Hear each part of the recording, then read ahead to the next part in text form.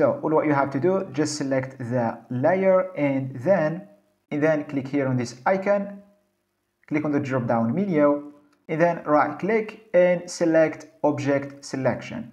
And from here, just drag this and select the object.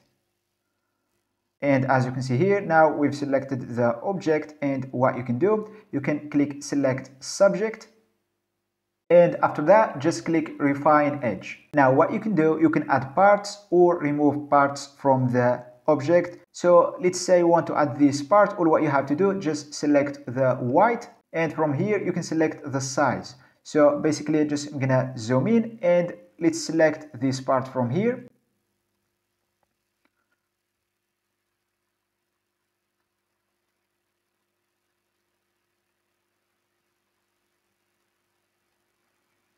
and as you can see now we have added the part.